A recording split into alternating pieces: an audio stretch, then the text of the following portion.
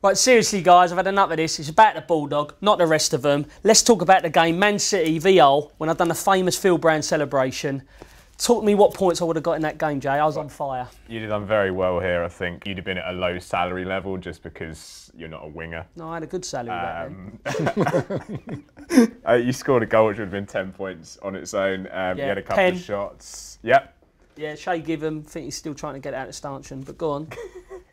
Two crosses, three fouls drawn. Um, you fouled someone, so that would have been 0.5 off your score, but you still got 17.5 daily fantasy points. Decent. Remember that game, man? Yeah, no points for the celebration. Good seller. I mean, you, you put a lot of work into that, right? Ah, well, the night before we had a chat about it, and um, the Mad Irishman said whoever scores has to do the celebration. So Bulldog done it. Unfortunately, you can't pick the Bulldog this week, but you can play against me in the Beat the Bulldog contest. Make sure you click on the link to enter the contest, and you could win tickets to Liverpool v Newcastle.